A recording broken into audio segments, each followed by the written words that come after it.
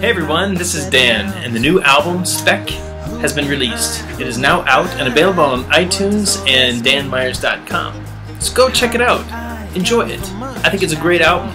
In fact, I think it's the best album I've done ever. So each album feels like it's the best one, but it's great. But the new one does end up taking the cake. Uh, John Mark Painter, the producer, did an excellent job at producing the record, and we spent some time long and hard working on it, make it sound right. So please go purchase the song on iTunes or danmeyers.com. There's a song by my friend Tim Coyle, my Irish friend, who wrote the song Glorious Christ. Many of you have done with me at retreats and concerts, so I want you to go check that out as well.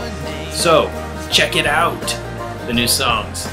Dan Meyers, Speck. You gave me life, you gave me work. You gave me rest in the shade. You gave me strength to tend the earth and everything that you have made. Who am I? Who am I? And what does all this mean?